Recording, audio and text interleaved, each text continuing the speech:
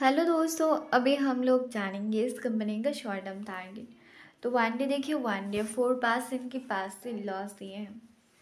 इसका five day देखिए। Five day से पहले इसका मार्केट साइज़ देख सकते हो। इसका पी देख सकते हो, नाइन्टी वन परसेंट।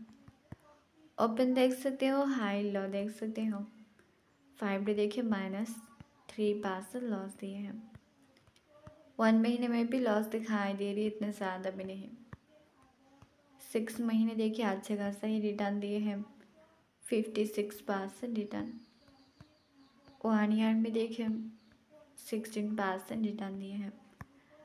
इसका वन डे देखिए लॉस दिखाई दे रही बहुत ज़्यादा ही। ग्राफ का मूव भी ऊपर है। नेक्स्ट डे भी टू परसेंट के पास से गिरने के चांसेस है। तो आज के लिए इतना ही। मैं good bless you good bye